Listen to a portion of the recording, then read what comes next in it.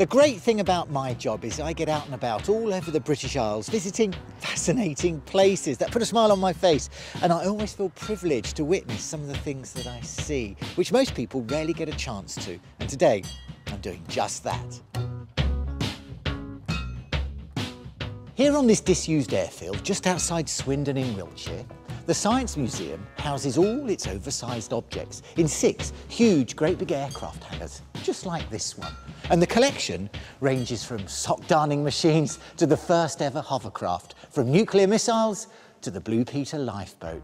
And each item comes with its own unique story.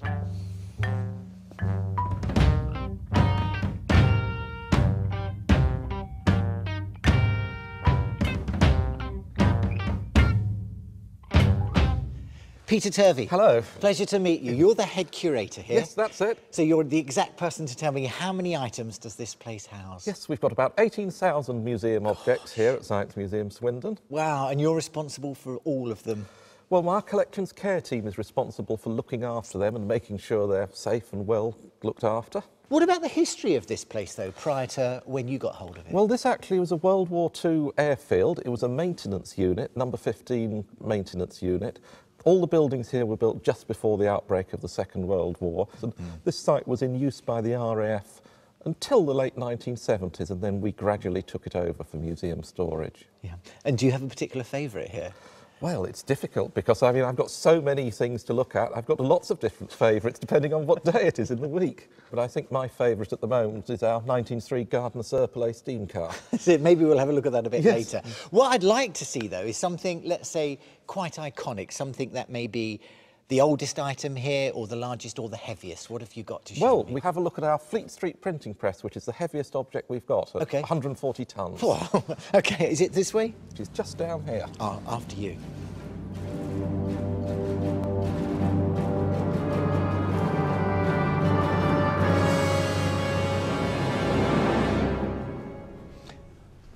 Well, where is it then, Peter? no, I was being a bit cheeky because I know we've just walked through it, or let's say underneath it. That is colossal. It's an impressive piece of machinery. It's as big as a house, isn't it? Yes, and actually we've only got a third of it here.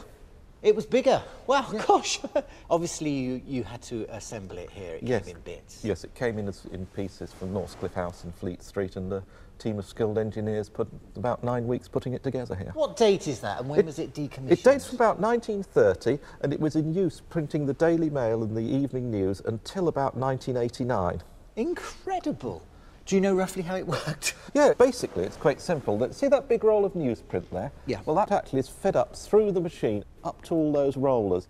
Some of the rollers actually have the typeface for printing the newspaper. Some actually carry ink onto the typeface. And then it shoots all the way up into that bedstead contraption at the yeah, top, and then is folded and turned into bits of newspapers, which actually shot off elsewhere into the building. You could say that is a Fleet Street heavyweight, couldn't you? Oh, it really is.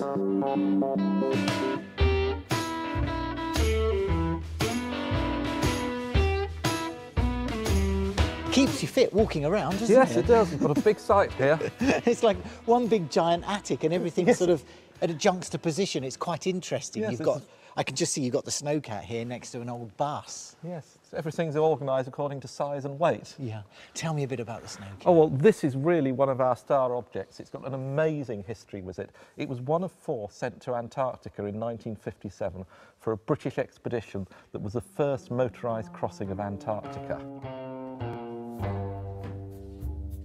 They set off in late 1957 and got to the other side in early 1958. It was a very important scientific expedition. Some of the research they did is very relevant today because one of the things they did was measure the thickness of the Antarctic ice sheet. That so we actually can see how global warming has affected the ice sheet since then. I can see how it works now. It's hmm. got like four pontoons as wheels, hasn't it? With yeah. tracks on it. Yeah, I mean, they were developed in America for actually servicing telephone lines, so they actually spread the weight so they could actually go over snowfields. Yeah. Fascinating machines. It must, it must be a, a, big headache for conservation because obviously you've got to look at these things once they're in here and make sure they're not rusting any further and bits are falling off. Yes, we've got a specialist team of conservators who look after our objects. So if you go over to our conservation laboratory, you can meet Dennis. Dennis, right. one of our conservators.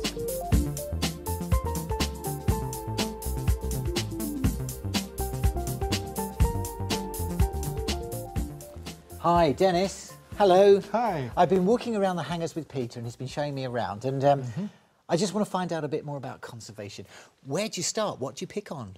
Well, we're usually getting objects ready for display down at uh, the Science Museum in London. So we don't do any repairs. Conservation's not It's about totally making it it's work. Restoration. Yes, that's right. This is a computer, isn't it? Actually, this is Ernie 1. Oh, he, he picked the premium bond numbers. Yeah, that's right. That's right, back in the 1950s. The acronym ERNIE stands for Electronic Random Number Indicator Equipment. From 1957 to 1972, ERNIE 1 produced thousands upon thousands of winning numbers for the premium bonds. Today, ERNIE 4 does the job, and ERNIE 1 has been saved as a museum piece. So, what basically are you doing? I see you using traditional methods and techniques. It's like you're restoring a little bit of fine art on, on, on, Oh, on a oh, absolutely. canvas. Art conservators use saliva to clean objects, and we found that saliva, the enzymes in saliva, are one of the most effective ways of cleaning it. Not all your saliva, though. No. Yes, yeah. Oh, really? Yeah. the- I have whole- think. I have to think about lemons a lot. Seriously? Yes, yes. But they work on a canvas, let's say this size. Now, your canvas is, well, you're going to be here for months. Yeah, it's quite a bit bigger. I'm not doing all the surfaces, Ah, right, mostly the plastic surfaces. Just the plastic. How long will this take? well, we've uh, booked in six months to do it, and that's going to be pushing it. God. Well, Dennis, I can't shake your hand to say thank you, but I know you've got your work cut out, so I'm going to let you get on with it. Thank right. you very much. All right, thank you.